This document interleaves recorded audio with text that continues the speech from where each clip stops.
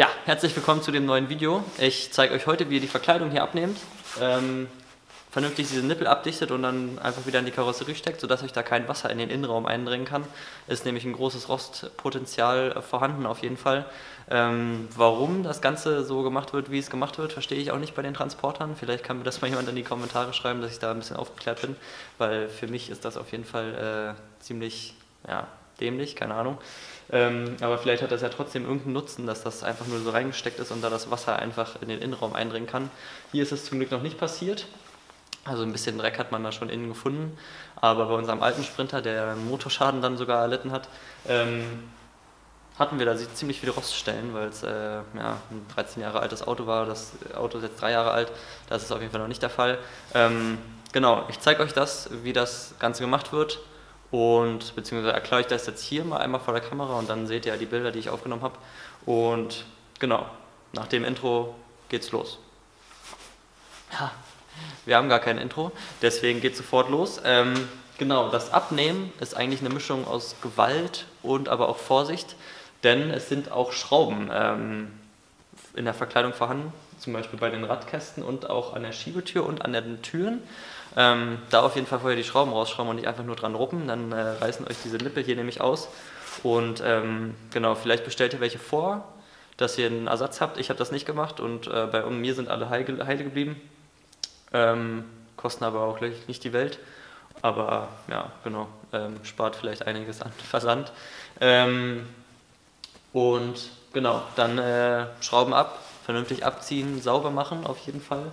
Ähm, bei uns hat sich auf jeden Fall auch ein bisschen äh, Dreck hinter der Verkleidung schon gesammelt ähm, und die Nippel sind halt auch ja, schmierig, äh, dreckig. Die sollten auf jeden Fall staubfrei und alles mögliche sein. Dann Sikaflex drauf, also ich habe mich für Sikaflex entschieden, äh, habe ich alles selbst bezahlt und dann wieder rein einfach und hoffen, dass da äh, alles dicht ist.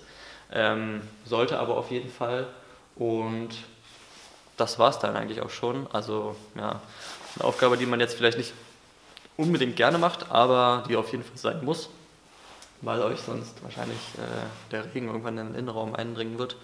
Ähm, sobald ihr so einen Transporter habt, äh, bei dem Sprinter und Köfter ist es auf jeden Fall so, ich weiß nicht, wie es bei den anderen Autos so ist, ähm, Peugeot und Fiat, keine Ahnung, könnt ihr ja mal auch unten in die Kommentare schreiben, ob das äh, bei euch auch der Fall ist oder ob ihr wisst, ob das der Fall ist. Ähm, dann wissen auf jeden Fall alle Bescheid und ja, genau. Ich zeige euch jetzt einfach die Bilder, die ich aufgenommen habe und dann, äh, ja,